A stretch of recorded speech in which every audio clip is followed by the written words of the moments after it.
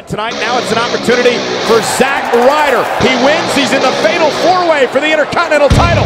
His opponent from Marieville, Quebec, Canada, weighing in at 266 pounds, Kevin Owens. Yeah, but that's not all, Michael. First, Shane McMahon. If Zack Ryder wins, he's in. But KO is out. So either way, it's going to be an interesting conversation between Kevin Owens and the coach. Tomorrow night on ESPN Sports Center, 9 o'clock Eastern. Coach, buckle up. You're in for a ride to KO. Yes, you are, Coach.